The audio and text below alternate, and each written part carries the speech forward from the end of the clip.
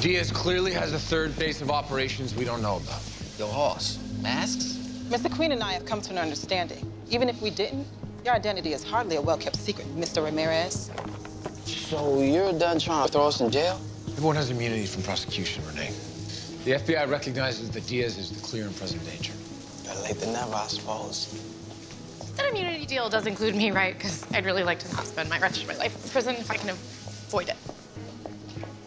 How did Diaz know we were moving in on him tonight? We've rounded up the SCPD, but Diaz still controls dozens of city officials. Diaz has a list of all of them. He keeps it on his person. Once we take Diaz, we won't need a list. We need to interrogate all the people we rounded up, see if we can get one of them to give up Diaz's location. No, they won't give it up. They're more afraid of him than they are of us. They also know without corroboration, Diaz or this list of his, we'll have to kick them in 48 hours. Where's he going? Probably to go talk to this guy on the inside.